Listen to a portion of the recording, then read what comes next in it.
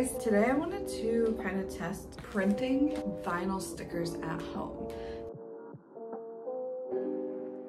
So if you know anything about my business, I used to sell vinyl stickers and from the beginning, I outsourced this. I used Sticker Mule for all of my stickers. In another video, I'm doing a huge comparison of all the sticker vendors that I could find on the first page of Google. So I'm comparing and seeing who's the best. But then one of my designer friends told me about printable vinyl sticker paper and I don't know why I've one, never heard of this or never thought to look this up.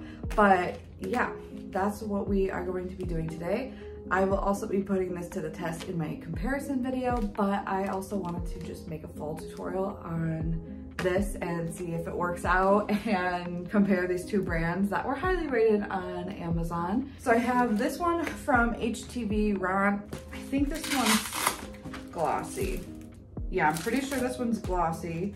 And then this one is from Joyeza. I've never heard of this, but this one's matte. So we're gonna see if one prints better than the other. So this comparison will be on a brand new printer to me. It's a lot smaller, it's a lot more affordable, so we will see if it does a good job. I'm going to use my Cricut to cut it out and do the print and cut. So let's get to it. Okay, so I'm gonna unpackage this. I'm gonna grab one sheet. Okay, I found the corner and this is the front side. So I'm just gonna write down at the bottom the brand. I'm just gonna call this Joy. Okay, yep, so that is the front and we're gonna just call this um, HTV. So I've got Cricut opened and I'm gonna go search for the design. I want this guy right here. So in my other video that I'm doing, I am comparing the exact same design for all of my stickers. So that's what we're gonna do. I'm gonna go to my canvas. We're just gonna resize this down to three and oops, gotta make sure it's locked, which usually it is. I'm gonna resize that down to three. So it's hard to see, but this design already has a white outline, so I don't need to add an offset. So I'm just gonna hit make it, and then I'm gonna increase this to six because that's how many that can fit. And then I'm gonna hit continue, send to printer. I'm gonna do two copies, one on each sheet. I'm gonna turn off the bleed since I don't need that. The white border was already there, it's not needed. And then I'm gonna use the system dialog so I can change the quality settings and this is going to appear behind design space. So now under media quality, I'm gonna change this to best and then hit print and that's gonna do its job. Okay, so of course this printed right by this and honestly, I wonder if that's gonna cause an issue with the Cricut reading and I didn't think that through. So we're gonna come in with a pencil and I'm just gonna put a J down in this corner and I'm gonna cut this out. I really don't want that to mess up our readings. So I think if I just cut that out, it should be good. I didn't think that went through. So just pretend we didn't make that mistake. Now we're just gonna line this up.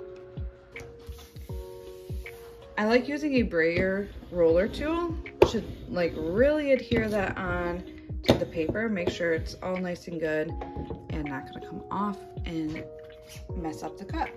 I'm gonna use the paper setting since this seems pretty thin. It might kiss cut it. It's still gonna be fine. I'll still be able to use the sticker. But if you were wanting to sell this, I would probably use Paper Plus or the vinyl setting. I'm not so sure.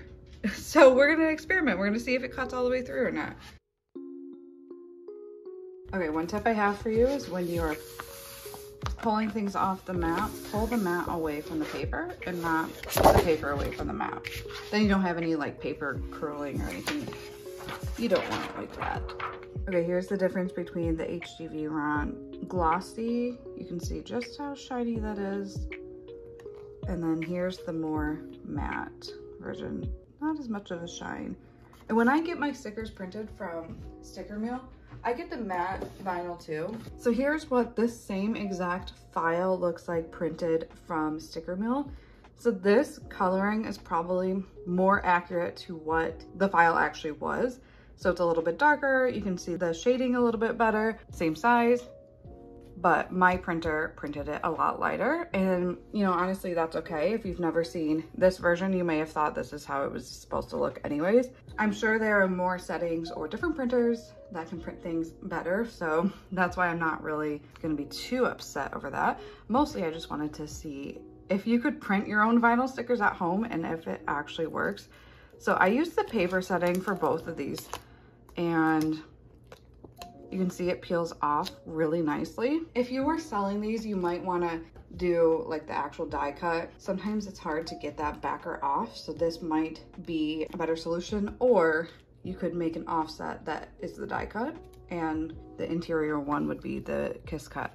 So these are pretty thin. I'm not gonna lie, these are a lot thinner than when you get it professionally printed. But honestly, quality wise, it looks fine. So I'm just gonna stick that back on there as good as I can.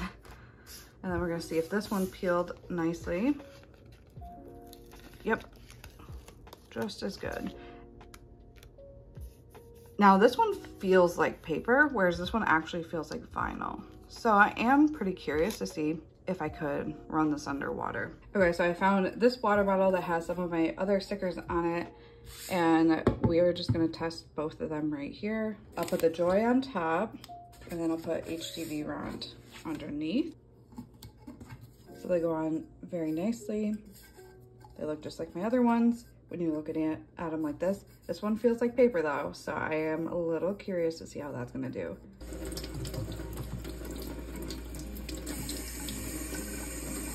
Honestly, they're doing pretty good.